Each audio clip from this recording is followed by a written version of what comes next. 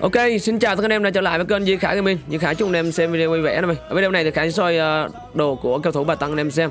Khá nhiều anh em hỏi set đồ Bà Tăng như thế nào mà chém gơ vậy. Thì Bà Tăng là con lông đao anh em. Hiện tại đang sở hữu một set đồ với một cây vũ khí khá là đẹp. Hôm nay thì vẫn là top 1 anh em ơi. Khải thì được top 4 rồi. Ờ, à, 294 mạng rồi.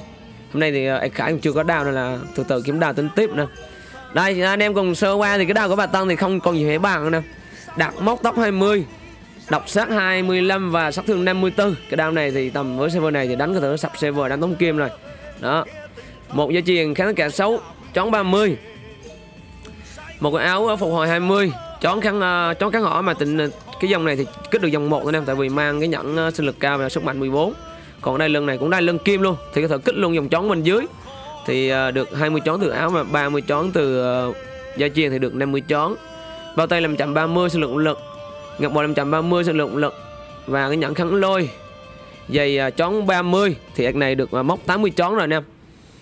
Và nón kim Thì nói chung là ạc này à, 80 chón là 30 này 20 này 30 là 80 chón rồi anh em. Rồi kèm với làm chậm thì cái này 30 Với 30 này với nếu mà kèm theo nghe mi mà kéo theo thanh âm thì ạc này có thể đặt móc, có thể lên làm chậm lên 80 nha anh em. Và thì anh em cùng xem set đồ thì cũng ở server này server mới nè. Nên tầm này gọi là đồ nó như thế này là đẹp anh em. Chứ còn đỡ mà bảo vip hơn này nọ thì chưa có như nè và hiện tại cho đến bây giờ thì khải thấy cái down này là gọi là down nột no một server nè. Một down no một server. Là vì uh, vừa tốc độ đánh và kèm theo độc sắc nè. Ở server thì chưa có down nào hơn như nè chưa có đó nào hơn là qua đau này nha nè. Cái đao này thì như anh em cũng đã biết là chơi con lông đao thì tầm này nó mới chỉ mới có 81 tốc độ đánh thôi nè.